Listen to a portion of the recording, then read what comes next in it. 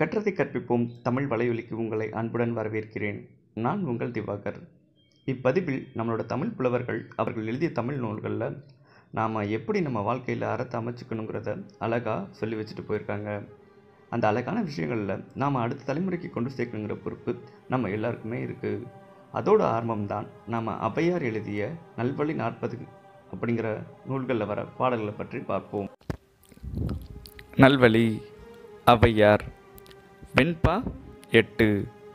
ஈட்டும் பொருள் முயற்சி எண்ணிறந்த ஆயினும் உள்கூட்டும் படியன்றி கூடாவாம் தேட்டம்.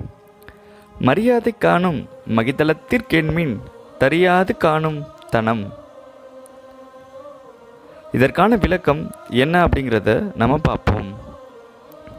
உலகத்தில் நாம் சம்பாதிக்க வேண்டியவை எண்ணில் அடங்காது இருப்பினும் விதி என்ன நிர்ணயம் செய்கிறதோ அதை தவிர வேறு எதுவும் நம்மிடம் சேராது. ஆதலால் பொருள் சேர்க்க வேண்டும் என்ற ஆசையை விட்டு அடுத்தவருக்கு உதவும் நல்ல மனிதர் இவர் என்ற மரியாதையை முதலில் சம்பாத்தியம் செய்யுங்கள்.